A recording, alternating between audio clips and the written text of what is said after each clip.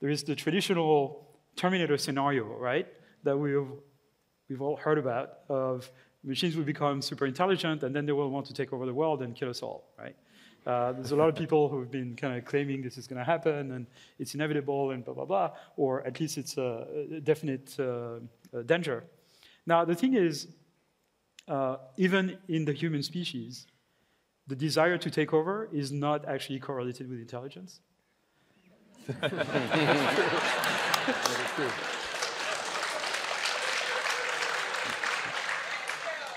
So it's not like the people who are in leadership positions are necessarily the smartest.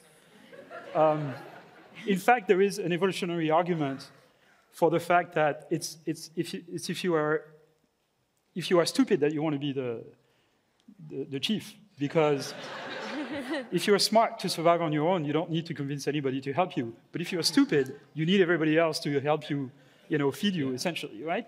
So uh, so the desire to take over is not correlated with intelligence. It's correlated with testosterone, probably.